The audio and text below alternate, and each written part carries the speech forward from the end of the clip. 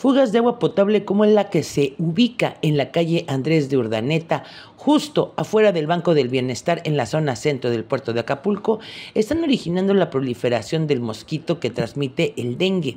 Señalaron algunos ciudadanos que transitan en la zona, pero además platican que esta problemática ya es algo cotidiano en las distintas colonias del puerto, donde personal de la Capama simplemente no ha ido a dar atención. Yo ando tratando de cubrirme porque estoy enferma.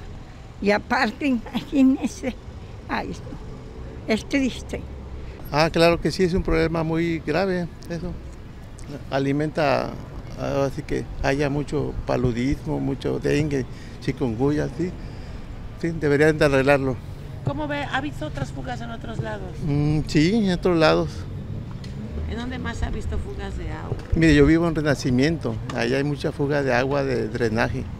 Pues ahí está el llamado a la Comisión de Agua Potable y Alcantarillado del municipio de Acapulco, la Capama.